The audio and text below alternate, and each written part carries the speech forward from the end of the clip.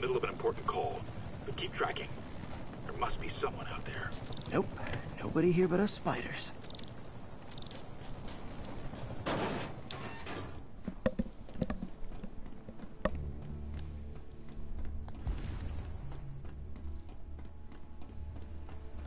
Hold on. Switching to a secure line. I'm way ahead of you, Wilson. I had my people go through all your files. If you try to expose our business arrangement, it'll be your word against mine. And I'm not the one behind bars right now. Wait. Is Norman talking to Wilson Fisk? Neo statue. What are you talking about? The Neo statue from the auction house. They must be talking about that file MJ found. Who has the file? We do, Norman. But it doesn't tell us enough. Which is why I'm doing some slightly illegal but morally acceptable B&E right now. Jackpot.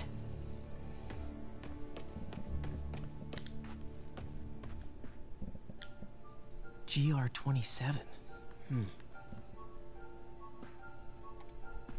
Dr. Morgan Michaels is the chief scientist, but the location of the lab is redacted. AI-controlled CRISPR. If that actually works, it could cure any genetic disease. Cystic fibrosis, Huntington's? This is crazy.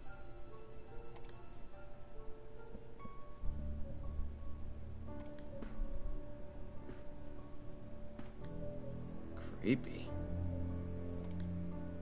Whoa. GR27 is Devil's Breath.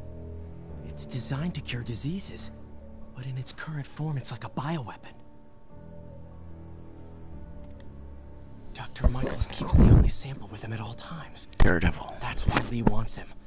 We find Michaels, we find Devil's Breath.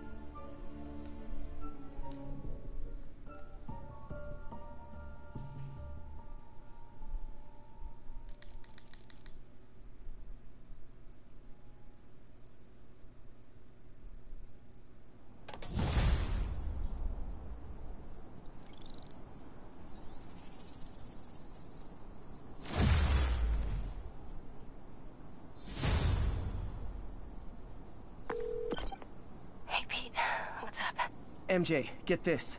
Devil's Breath wasn't designed to be a weapon. It's a treatment for genetic disorders. But its current form is wildly imperfect. In trying to fix the body, it rips it apart. We need to locate Dr. Michaels. I don't trust Sable to contain something this deadly. I may have a lead on that. Charles Standish is being held at Sable's Central Park compound. If anyone knows Michael's location, it'll be Oscorp CFO. I'm trying to reach him now. Reach him? That place is crawling with guards. How are you trying to reach him? Very, very quietly. Gotta go, partner. Sneaking into a Sable compound. That could go bad fast. I should head to Central Park.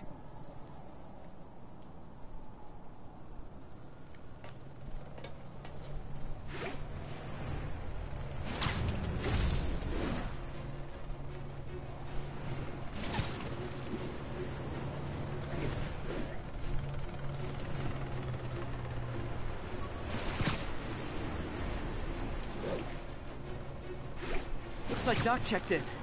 Peter, I've had an epiphany. It's all about the mind. Take me, for example. A mind of unlimited potential, shackled to a tired, old body. Think of what that mind could achieve if it were freed. In developing our neural interface, we need to think beyond replicating the tired putterings of our physical forms. Instead, reach into imagination and possibility.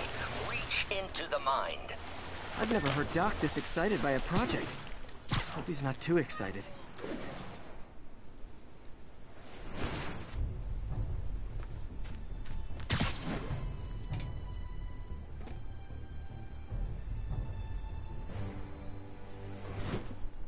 Where are you, MJ?